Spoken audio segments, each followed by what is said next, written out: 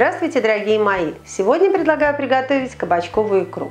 Этот рецепт из тех, которые существуют в нашей семье много лет без изменений. Для заготовок овощи я взвешиваю в уже подготовленном состоянии.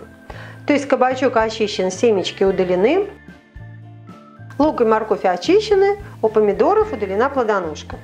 И для приготовления мне необходимо кабачки килограмм, 2 средние луковицы, примерно 250 граммов, 2 средние моркови, также примерно 250 граммов, 300 граммов помидоров, 3 чайные ложки сахара, 1 полная чайная ложка соли.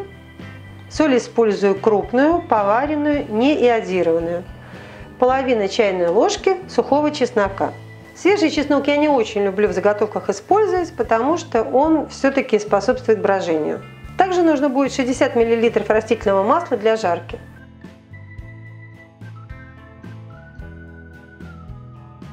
Также мне будут нужны простерилизованные банки с крышками. Как я их стерилизую, я уже неоднократно рассказывала. Если информация нужна, в описании к видео будет ссылка на ролик с лечи. Там все есть.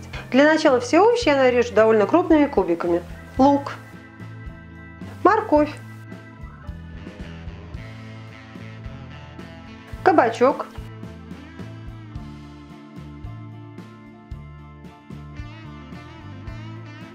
Помидоры я просто разрежу пополам, чтобы потом было просто выбрать кожицу. Теперь я беру сковороду, разогреваю, выливаю на сковороду все масло, выкладываю лук, обжариваю одну минуту. После этого добавляю морковь и обжариваю вместе минуты 3. Выкладываю кабачок. Обжариваю 5-6 минут. Принципе, можно жарить сразу в кастрюлю. Но у меня кастрюля из нержавейки, и я бы не хотела, чтобы там что-то пригорело. Если у вас антипригарное покрытие, то пожалуйста. Также, если вы делаете две порции, овощей у вас очень много, возьмите две сковородки. После этого нагрев уменьшаю, добавляю помидоры, соль, все перемешиваю.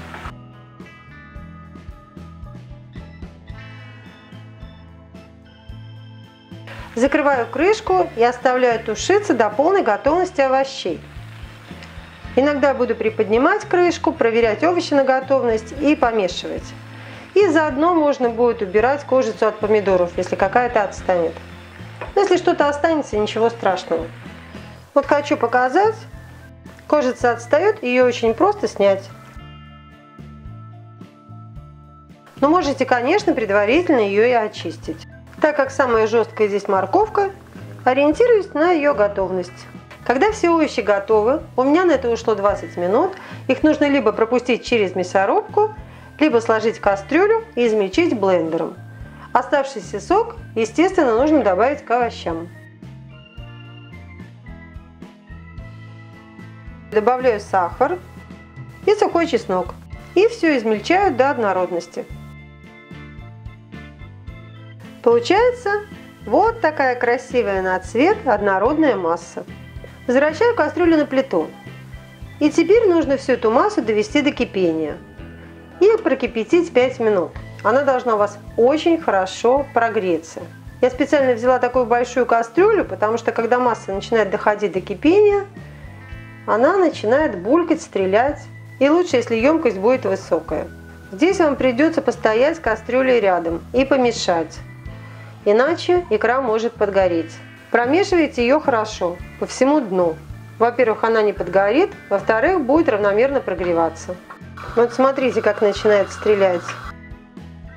И вот в этот момент важно не дать ей подгореть и забрызгать все окружающее пространство.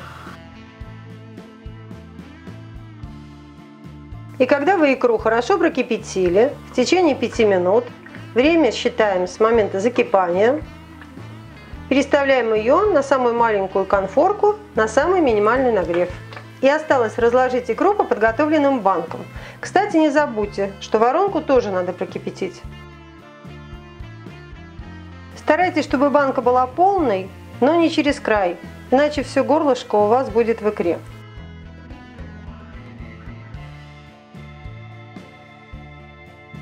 Закрываете крышкой.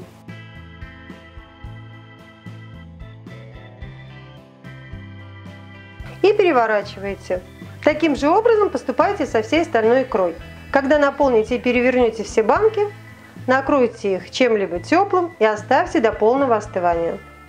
Из данного количества продуктов у меня получился ровно литр икры. Это баночки по 250 мл. Вот буквально столько осталось, чтобы как раз попробовать. Несмотря на незатейливость, эту заготовку я очень люблю. Могу есть ее без всего, просто так, ложкой из банки. Ее даже не обязательно заготавливать, можно просто приготовить и есть. Это очень вкусно. Вот такая кабачковая икра у меня получилась и обязательно получится у вас. Заготавливайте, ешьте с удовольствием зимой, а я желаю вам приятного аппетита. Благодарю вас за просмотр, за ваши лайки и комментарии. Желаю вам успехов во всех ваших начинаниях. До новых встреч!